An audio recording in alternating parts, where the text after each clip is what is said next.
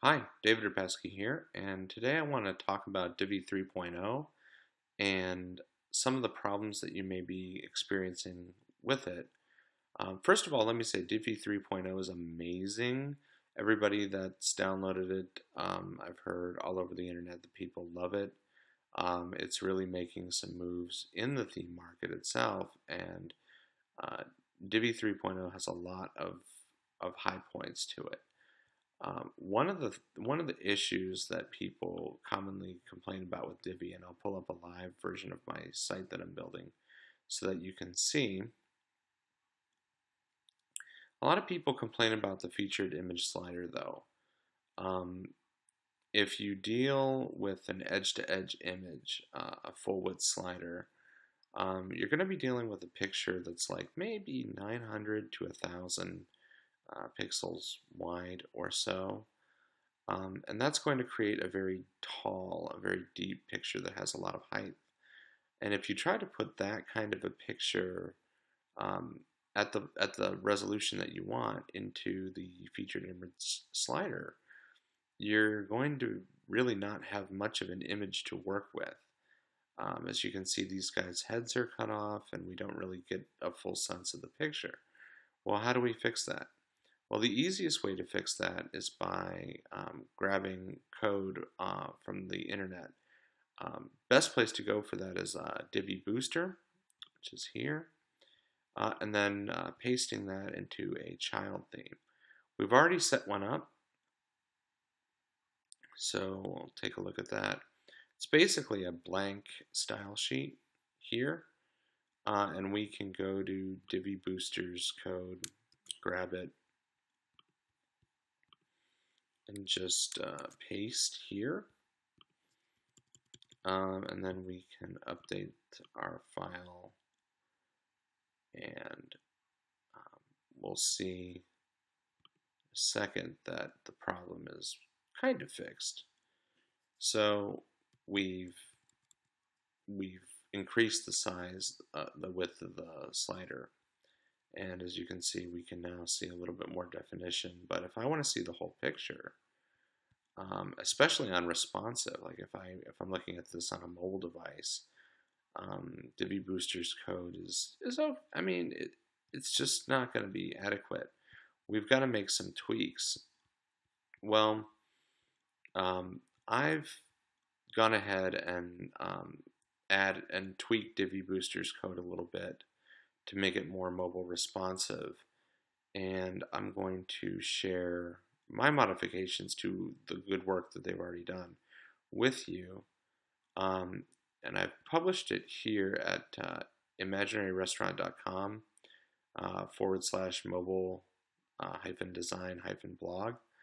Um, if you just go to imaginaryrestaurant.com, scroll all the way down on the menu to uh, knowledge base and click on it, it's going to show you the updates, the updated code that I have here. Um, anyone is welcome to just copy the whole thing and uh, use it.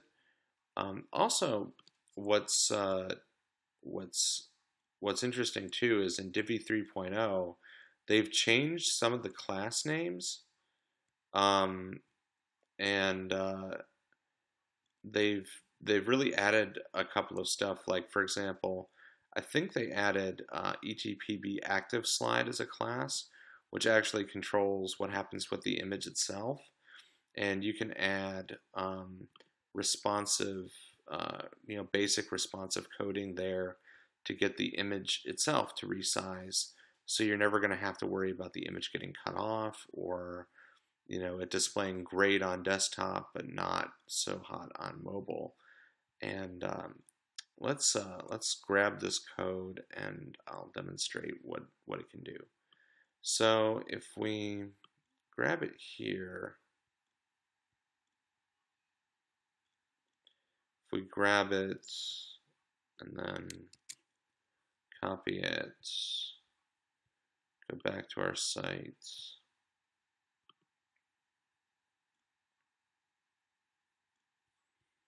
Go back to our child theme.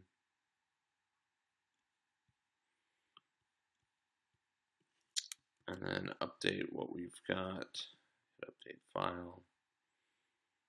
Um, you'll see that I've done a couple of things.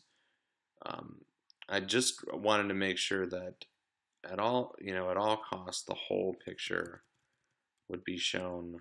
Um, and as we get smaller, the image, the image sizes um, reduce uh, considerably, but we're, we're always going to have that full image and nobody's ever going to get cut off.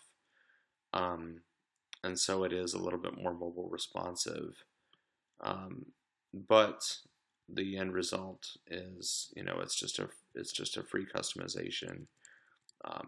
There's no risk to using this as long as you use it in a child theme. Um, if you actually paste this to your to your um, to your core files, um, you you do run the risk of losing it, it, when you update, and you also run the risk of it interfering with uh, some of the code that's already there. So um, again, to get this updated code, you just go to imaginaryrestaurant.com and then go all the way down to knowledge base and you'll be able to see it. It's the first article up top. And then you just uh, copy and paste away.